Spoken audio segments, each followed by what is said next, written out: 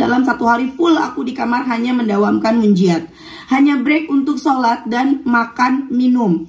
Hampir tidak bicara dengan siapa pun dalam waktu 20 Bismillahirrahmanirrahim. Alhamdulillahirabbil alamin. Allahumma sholli ala sayidina Muhammad wa ala ali sayidina Muhammad. Assalamualaikum warahmatullahi wabarakatuh. Halo teman-teman apa kabar? Mudah-mudahan teman-teman selalu dalam lindungan Allah Subhanahu wa taala. Amin ya rabbal alamin. Alhamdulillah kali ini aku akan sharing lagi pengalaman sholawat dari teman-teman kita buat teman-teman yang belum subscribe di subscribe dulu biar aku makin semangat lagi bikin videonya. Dan buat teman-teman yang punya testimoni sholawat langsung aja kirimkan testimoni teman-teman ke 0813 1943 Yang belum punya buku ini teman-teman bisa beli ke admin udah ready di admin harganya 55.000. Insya Allah bisa nambah semangat teman-teman dalam sholawat. Kalau teman-teman mau coba cari uh, di Gramedia juga ada ya teman-teman ya. Ada beberapa Gramedia yang masih ada.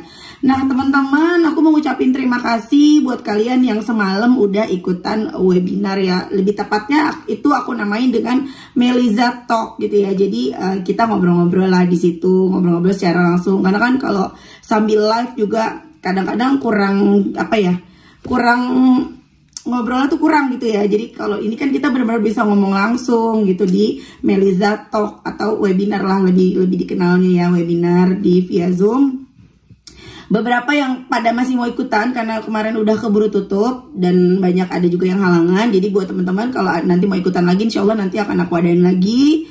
Uh, untuk waktunya ditunggu aja ya kapan ya mungkin seminggu lagi atau dua minggu lagi doain aja nah teman-teman langsung aja akan aku bacain testimoninya ini dari Mbak Ibra di Bogor nih teman. Assalamualaikum kak, waalaikumsalam. Aku Mama Ibra di Bogor. Mau kasih testimoni tentang sholawat. Jadi gini mbak ceritanya. Awal pas datang wabah corona kami membangun rumah dan rumahnya baru setengah jadi sampai sekarang. Kami modalnya pinjam ke bank, lunasnya itu pas anak kami nanti kelas 1 SMP.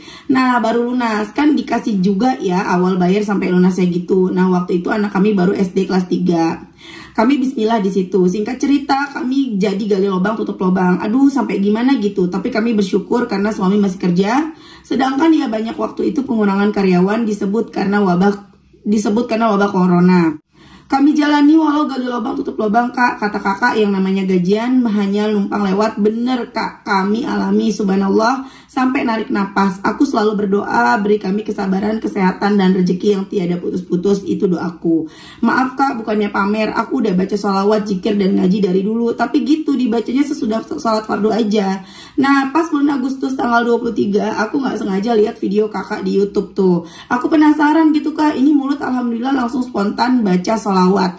Terus di tanggal 25 Agustusnya aku mulai dawamin Riyado surat Yasin, Waqiyah, Al-Mulk dan Ar-Rahman. Singkat cerita aku nanya sama suami kan kak, ya itu kebang berapa lama lagi sih? Kata suami catatannya ada di ibu.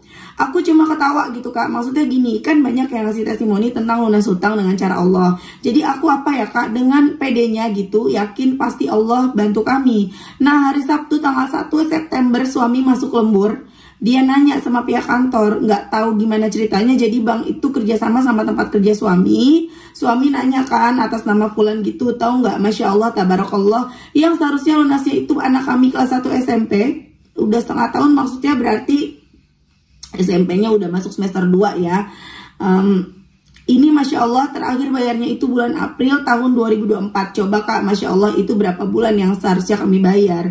Jadi maju satu uh, tahun teman-teman Waktu hutangnya itu yang harusnya lunasnya Misalnya di tahun 2005 jadi 2004 Masya Allah Dahsyatnya salawat dan riadoh, bahkan riadohnya aku baru ke 37 hari itu dipotong dapat bulan kak. Aku suka ngayal uang banyak, bang lunas ke orang-orang lunas, rumah pun beres dan ada uang buat masuk SMP. Setiap udah baca salawat aku suka seperti itu. Belum lagi semenjak baca salawat di tempat kerja suami itu ada longsip dan lembur. Masya Allah aku sampai ya Allah engkau kabulkan doa doaku terima kasih ya Allah.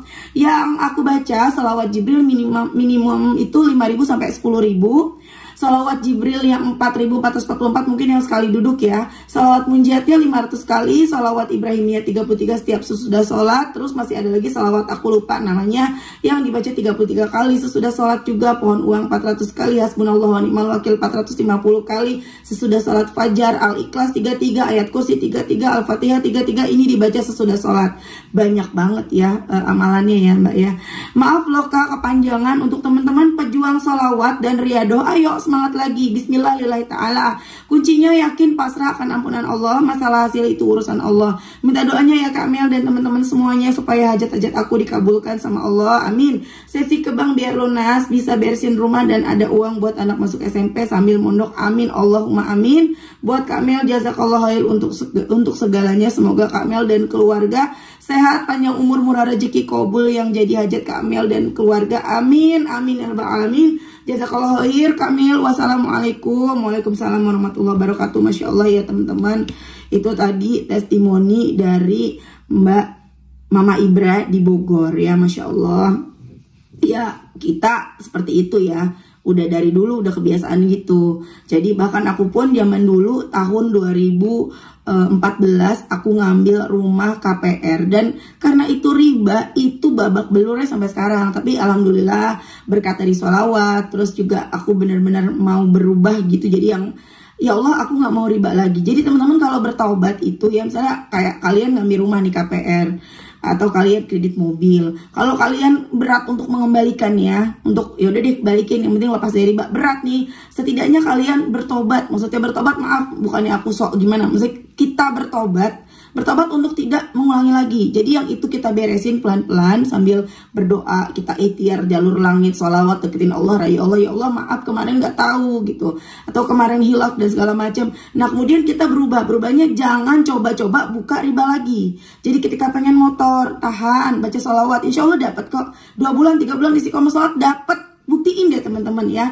Kemudian pengen mobil, nggak usah di uh, kita kredit-kredit lagi. Bismillah pelan-pelan insya Allah disalawatin dapat. Bahkan kalau kredit kita sampai lima tahun gitu ya, kita babak belur lima tahun kalau kredit mobil misalnya. Tapi kalau kita salawatin paling enggak dua bulan tiga bulan salawat dapat atau setahun deh. Ya paling lama setahun dapat mobilnya kita nggak perlu susah payah lagi bayar cicilan mobil gitu loh. Begitu juga yang kepengen rumah. Makanya aku selalu bilang sama adik aku kalau bisa jangan kredit. Udah salawat aja. Udah salawat munjiat aja. Adikku juga senang sama salawat munjiat yang namanya Desi Kapan-kapan kita video kalian sama Desi ya. Kapan-kapan nanti webinar aku hadirin Desi ya. Kemudian uh, Desi itu bener-bener udah sukanya munjiat aja. Aku bilang udah nggak usah ngambil rumah, nanti pusing, stres ya. Udah Bismillah nanti akan ada jalan dari Allah untuk bisa punya rumah gitu loh teman-teman jadi teman-teman semuanya yang sekarang belum pada punya rumah nih Bismillah sabar Insya Allah akan ada Insya Allah teman-teman pasti punya rumah ya rumah yang terbaik rumah yang nggak pakai kredit rumah yang nggak bikin kita jadi babak belur ya teman-teman ya. Nah oke okay, teman-teman aku lanjut akan baca testimoni selanjutnya ini dari Mbak S dari Ibu S ya karena ini Ibu S ini usianya 50 tahun tapi awet muda banget loh Bu. Aku kemarin ngelihat profilnya wah awet muda banget ibunya gitu ya. Langsung aja aku bacain ini dari Ibu oh bukan Ibu S dari Ibu A ya dari Ibu A teman-teman. Assalamualaikum Mbak Mil. Waalaikumsalam. Salam kenal. Namaku A. Aku berterima kasih karena banyak berkah setelah saya ikutin sholawat. Sebagai rasa terima kasih saya Saya beli bukunya dan akan beli terus buat hadiah teman-temanku Kalau mereka berulang tahun. Masya Allah, makasih ibu ya. Waalaikumsalam. Masya Allah, terima kasih. Ini aku masih manggil mbak Karena aku gak tahu kalau usianya 50 gitu. Aku gak enak. Ya masa sama yang uh, lebih senior Aku manggilnya mbak gitu ya jadi aku panggil ibu itu. Lanjut, alhamdulillah dibalas, senang bisa kontak dengan yang ngasih jalan pertolongan Allah. Insya Allah nanti kapan-kapan aku share perjalanan aku sampai ke titik ini ya Mbak Me. Aku tunggu Mbak. Aku cicil ya mbak, tolong disamarkan namaku kalau mau di-share. Aku udah kenal sholawat di awal pandemi dari channel lain. Tetapi channel mbak Melah yang membuka hati aku menemukan sesuatu yang lebih mendasar dari perjalanan spiritual aku. Awal pandemi aku udah diambang perceraian. Kita udah pisah kamar, nggak ngomong bahkan suami udah bilang mau pergi dan aku pun udah membiarkan. Setelah satu minggu tiba-tiba aku lihat channel yang menceritakan keajaiban sholawat munjiat. Langsung aku praktekkan dalam satu hari full aku di kamar hanya mendawamkan munjiat. Hanya break untuk sholat dan makan minum hampir tidak bicara dengan siapa pun dalam waktu 24 jam suami, suamiku tiba-tiba masuk kamar memeluk aku dan semua pun kembali normal the power of salawat munjiat Masya Allah tetapi setelah itu aku nggak lanjut menjiat. Kemudian aku lihat salawat Jibril masih dari channel yang sama. Kebetulan aku ada kesulitan uang, pernah usaha dengan modal kredit card, jadi hutang banyak ratusan juta dan suami nggak tahu. Lalu aku dawamkan salawat Jibril sebanyak 15 ribu dalam satu hari. Tiba-tiba suami info mau naikin transfer bulanan 40% dari sebelumnya. Alhamdulillah kondisi keuangan membaik hutang separuh lunas Masya Allah the power of salawat Jibril. Dan besoknya aku nggak meneruskan ditambah aku ada masalah insomnia badan sering gak fit jadi mau ibadah pun males walaupun sholat lima waktu hampir nggak pernah aku tinggalkan. Lalu terjadi pertengkaran lagi dengan suami suami kalau marah barang di rumah jadi rusak TV meja makan pintu kaca kaca mobil dan banyak lagi. Baru aku dawamkan menjiat lagi Alhamdulillah cuma satu hari tetapi aku terlalu stres, nggak tidur, nggak makan, bahkan aku yang minta pisah. Tetapi besoknya aku sakit dan ternyata COVID di bulan November 2020. COVID generasi awal obatnya mahal, akhirnya dirawat dengan biaya hampir 100 juta. Saat itu aku lihat channel Yusuf Mansur, Ustadz Yusuf Mansur tentang keajaiban surat Yasin dibaca setelah tahajud. Ar-Rahman saat duha, waqiah saat asar, dan almuk saat isya. Nah teman-teman ya aku potong sebentar. Kan banyak yang nanya ya baca yasin kapan? Sebenarnya uh, untuk waktunya itu bebas teman-teman. Kita baca Quran tuh kapan aja. Tapi kalau menurut Ustadz Yusuf Mansur, kalau mau bacanya di waktu yang ini tadi yang dibilang ya, yasin dibaca saat tahajud, ar-Rahman saat duha, waqiah saat asar, almuk saat isya. Jadi habis saat isya baca almuk. Tapi kalau kita nggak sanggup seperti itu jangan maksain. Masya Allah dari aku yang sesek banget. Hari ketiga aku udah membaik dan tenang. Suami juga membaik malah pas jemput aku dia nangis. Aku dirawat 10 hari di mana dia nggak bisa besuk Cuma antar di IGD pas aku sesak Oh iya aku sesek banget waktu dibawa ke IGD Karena aku ada komorbid. Pernah diambil sepertiga paru-paru Karena paru-paruku membusuk sepertiga di tahun 2018 akibat sepedahan. Dan lagi-lagi aku tidak istiqomah heboh ibadah di saat perlu aja Padahal dosa dan masalah masih segunung. Beberapa bulan lalu aku mulai was-was karena anakku yang besar nggak lulus. Sekarang lagi skripsi yang kedua dengan alasan dosennya sedang ambil S3 di Belanda. Tetapi anakku ini bukan yang kurang malah pernah jadi presiden direktor di salah satu organisasi di kampusnya. Saat inilah aku lihat channel Mbak Mel yang merubah hati dan pikiran aku. Kita ibadah jangan fokus ke hasil, tetapi fokus pada ampunan Allah. Masya Allah, ini kena banget di aku. Gimana kalau semua doa kita dikabulkan, tetapi dosa kita enggak? Bukankah itu lebih mengerikan? Oh iya, aku udah 50 tahun ya mbak, jadi sungguh malu aku masih lebih mengutamakan dunia. Per tanggal Agustus 10 aku mulai jalankan 10 Agustus. Salat wajib tepat waktu, salat sunnah, qobliyah, badah, tajud, duha, ya surat yasin setelah tajud ar-rahman al-mulk dan sisanya waqiah salawat munjiat awalnya 1000 tapi sekarang 500 dan sisanya salawat jibril kalau lagi nggak pegang tasbih sedekah Jumat plus sekarang tambah mau beli buku Mbak Mel setiap kali sahabatku ulang tahun. Walaupun sampai saat ini aku masih menunggu jadwal sidang anakku yang besar mohon doanya ya Mbak Mel. Tetapi aku tenang, alhamdulillah banyak kemudahan-kemudahan lain yang aku terima. Suami sudah sangat lemah lembut ke aku mulai sholat lagi padahal kami udah haji dari 2018 tapi belum merubah suami buat istiqomah. Aku pun tidur mulai nyenyak jam 4 bangun dengan kondisi segar sebelumnya seminggu kadang cuma dua hari bisa tidur. Sisanya bisa melek sampai pagi walaupun udah minum obat tidur dari dokter. Insya Allah aku akan share selalu ke Mbak Mir kalau ada yang patut di share biar semangat. Ini buku ketiga per tanggal 23 September 2002. Doakan aku selalu ada rezeki biar bisa share ke teman-temanku. Jadi mbaknya ini uh, beli di Shopee ya untuk uh, beli buku aku buat bagi-bagi ke teman-temannya. Masya Allah. Assalamualaikum Mbak Mela. Itu belum aku jawab tuh teman-teman. Itu di tanggal berapa atau ya dan kemudian tanggal 27 September ngechat aku aku juga belum baca. Dan di tanggal 30 September ngechat aku lagi. Assalamualaikum Mbak Mel Waalaikumsalam. Mungkin ini juga keajaiban salawat pagi ini anakku yang kecil kehilangan ID cardnya. Padahal hari ini ada tes. Kalau nggak dibawa ID card nilainya dikurangin 10 poin. Akhirnya aku bantu cari. Aku buka tasnya dan aku menemukan rokok korek dan adalah hari terakhir dia tes ujian sekolah kelas 11. Jadi niatnya setelah tes dia mau main sama teman-teman ya alhamdulillah aku sabar dan tanya dia baik-baik. Dijawabnya itu punya teman-temannya nggak lama ID cardnya ketemu tapi aku jadi tahu ada hal yang disembunyikan dari aku. Aku belum tahu apa betul itu punya dia atau teman-temannya yang pasti aku nggak kasih lagi dia main sama teman-temannya. Kemudian mbaknya chat aku lagi di hari Selasa. Assalamualaikum Mbak Mel. Waalaikumsalam. Akhirnya hajat utamaku dikabulkan setelah mulai jalanin semuanya dari Agustus 11 ini.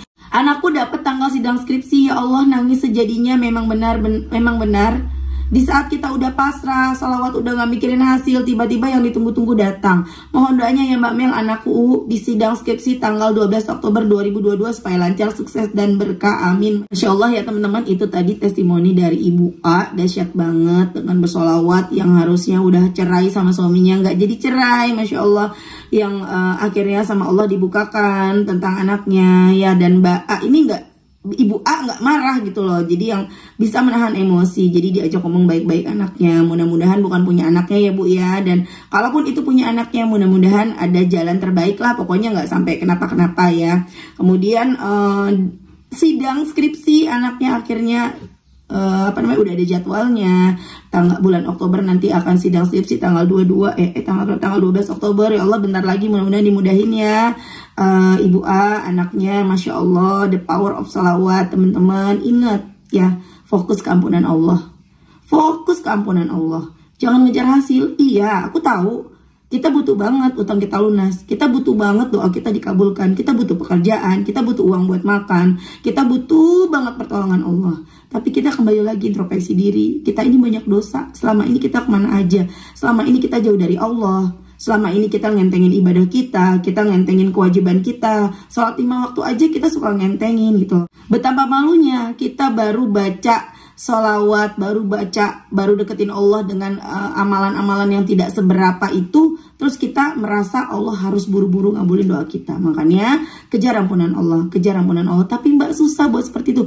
Paksa, baca salawat sebanyak-banyak itu akan hadir dengan sendirinya. Memang nggak mudah teman-teman. Tapi ketika teman-teman paksa baca salawat, misalnya salawat Jibril, Sallallahu ala Muhammad, Sallallahu ala Muhammad, Sallallahu ala Muhammad, itu nggak berhenti-berhenti, insya Allah teman-teman dengan sendirinya hatinya langsung apa ya lapang. Teman-teman hatinya langsung bisa ikhlas hadir kepasrahan hadir keikhlasan jadi bisa fokus keampunan Allah. Karena kita sudah uh, apa ya yang penghalang, penghalang apa ya kayak batu di dalam hati kita ibaratnya ya batu yang keras ya uh, kesombongan, keangkuhan, um, rasa yang nggak baik itulah semuanya. Itu luntur teman-teman dengan kita rajin bersolawat luntur tuh yang buruk-buruk itu luntur. Akhirnya apa? Bersih hati kita. Jadi kita bisa menerima cahayanya Allah. Kita bisa menerima semua yang udah terjadi dalam hidup kita. Kita bisa menerima kekecewaan kita. Kita bisa belajar menjadi lebih baik lagi Kemudian kita bisa mengambil hikmah dari setiap kejadian yang ada dalam hidup kita. Kita bisa mengambil hikmah dari setiap ujian yang hadir dalam hidup kita. Oke teman-teman, terima kasih udah nonton. Semoga bermanfaat dan jadi motivasi buat teman-teman. Mohon maaf kalau ada salah-salah kata ya teman-teman ya. Uh, Assalamualaikum warahmatullahi wabarakatuh.